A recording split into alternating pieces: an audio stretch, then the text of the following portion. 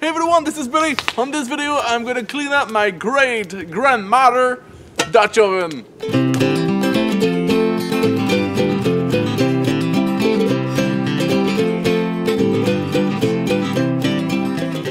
Well, this is amazing what I found the other day, man. It's actually the real, my real great grandmother Dutch oven. It's amazing. Yeah, she used to cook beans, you know, for my, actually my grandfather, you know, that's amazing.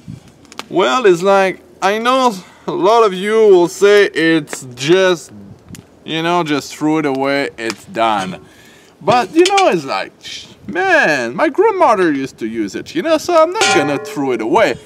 And this technique, actually, I learned it from old folks and I'm just gonna do it in the bush not at home in the bush it's right here on the fire first of all I'm just gonna pour a bit of water on it because I want to clean it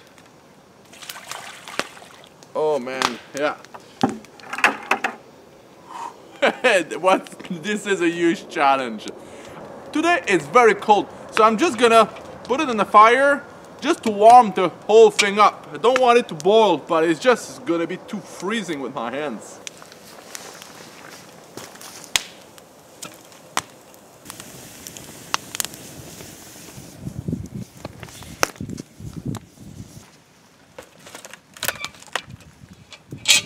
Okay.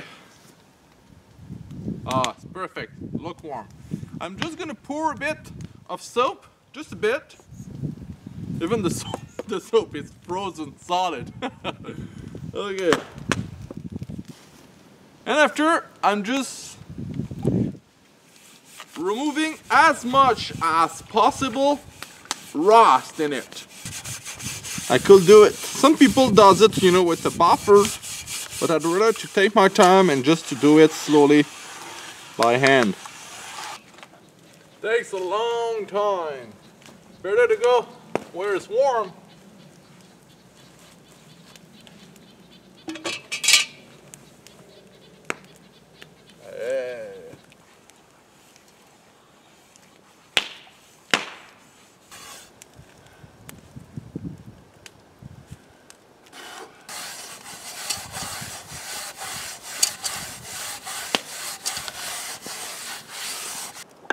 I'm uh, I'm done now.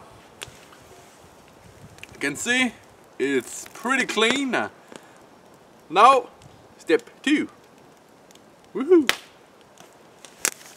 The step two is to put lard, but with no with no salt at all.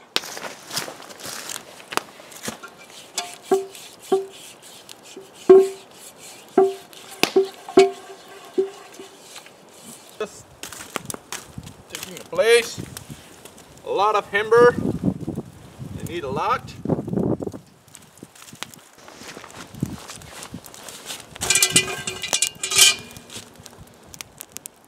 I want it to be very hot. So all the old rusty, you know, grease that was underneath or, you know, everything I wanted to burn. It's very easy to remove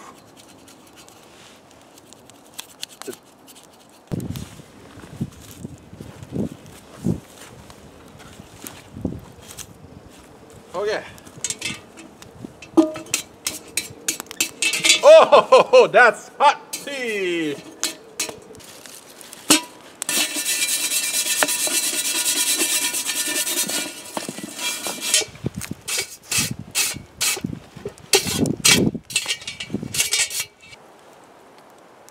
Just using it. I'm just using edible edible oil.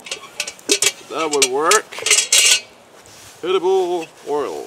Oh man, that's a good word, huh? Eh, there we go.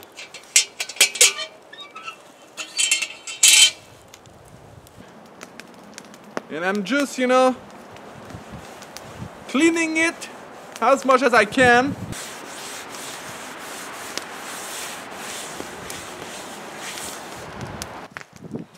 After the whole, after the whole afternoon working with this pot. I'm done now. Oh man, my great grandmother will be proud of me.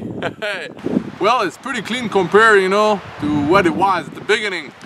Yeah, even if I boil some water, you will see some particles, you know.